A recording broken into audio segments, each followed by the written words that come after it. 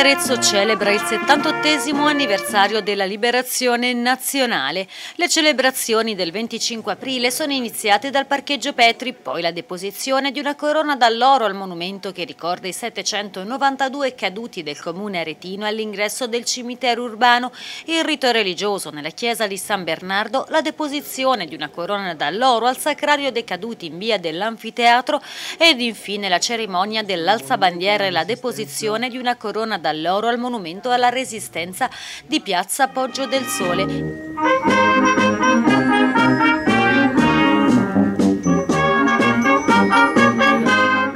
Qui poi il ricordo ai partigiani e agli antifascisti di Arezzo. Sant'Etani, 40 anni, avvocato, oppositore al ventennio fascista. È doveroso perché quei giovani, molti veramente di 18 anni, come ragazzi che avevamo qui oggi a suonare, non hanno pensato un attimo a mettere in discussione la loro vita per un ideale eh, e che sono stati ad esempio, no? perché molti, tipo quelli che ho citato, Pio Borri, Edwino Francini, il eh, stesso eh, Licio Licetti, eh, sono morti molto prima che anche gli eventi bellici prendessero una sua consistenza nella nostra provincia. Quindi loro hanno veramente dato un impulso nuovo di forza e di passione a coloro che rimasero e che nel loro nome portarono avanti queste, questa lotta di liberazione. A curare i momenti musicali della giornata sono stati gli alunni del liceo Petrarca di Arezzo.